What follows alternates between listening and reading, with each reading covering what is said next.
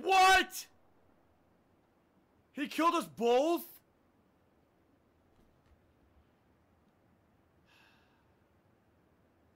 This game sucks.